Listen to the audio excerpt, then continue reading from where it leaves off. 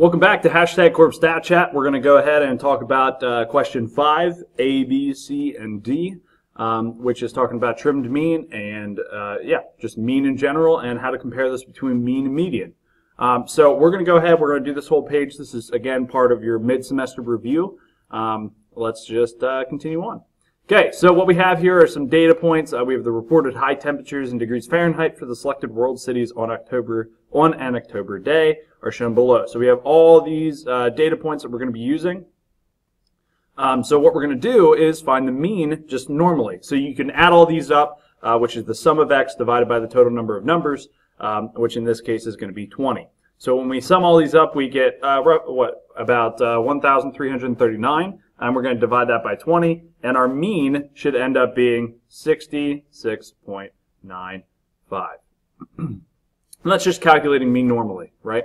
And then median, um, you're just calculating median normally. And remember, we have uh, 20 numbers here, so we can just add 1, which gives us 21, divided by 2, which will give us the number that we have to count in from one side to get to uh, the actual median. And in this case, it comes out to the 20th, 20.5th number. So 20.5, if we, if we uh, count in, um, it's the 20.5 measurement.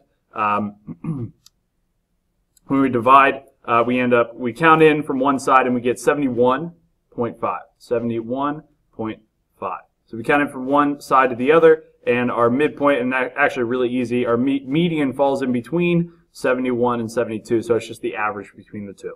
Okay, once we have our mean and our median, what we want to do next is calculate our trimmed mean. Remember, trimmed mean, we're just trimming off 5% from one end and the other. So think of this as trimming the fat off, right? We're trimming 5% of the fat off. And what does it do for us?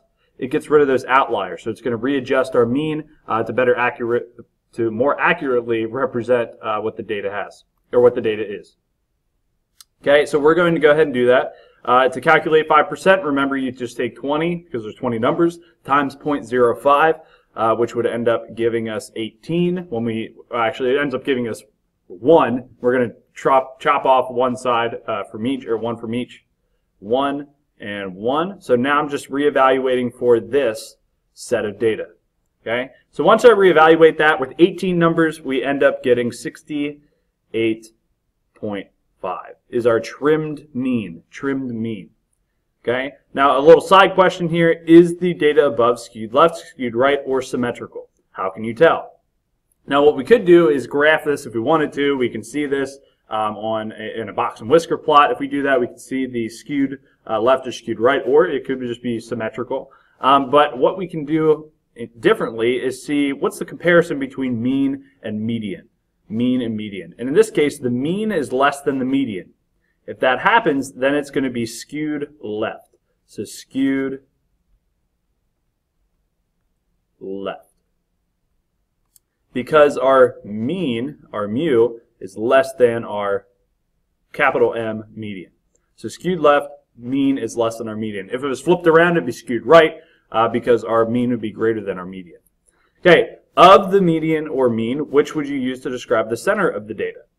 Okay, we're going to end up using median because it's skewed, right? And that just goes back to uh, question number 5b. Okay, so median because it's skewed left. of the mean and the 5% trimmed mean, which would you use to describe the, the uh, data or the center of the data? And again, this, this question is, is fairly easy because if you get rid of outliers, we're getting a better uh, representation of the center of the data. So trimmed mean is going to be the better option. So I'm just going to circle it here. The meaning is uh, no outliers. I guess I should clarify that. There could be one or two outliers that lie within the outliers, if that makes any sense. So if I had another, so say that up here I had 15, um, and then I had 16. 16 would still be considered somewhat of an outlier, but I'm slowly eliminating those number of outliers. Um, so in this case, just remember we're calculating the mean and the median. We're cutting off uh, one from either side for the 5% trimmed mean because that 5% belongs to that 20 number. So n equals 20, so we're just going to take 0.05 times 20 and round to the next whole number. Um, is the data skewed left, skewed right, or symmetrical? It's going to be skewed left because the mean is less than the median. The median is a better choice for the data, and we're going to use 5% trimmed mean to represent the data more clearly because of eliminating outliers. All right, thanks for watching. This is hashtag Korb Stat Chat, and I'll see you next time.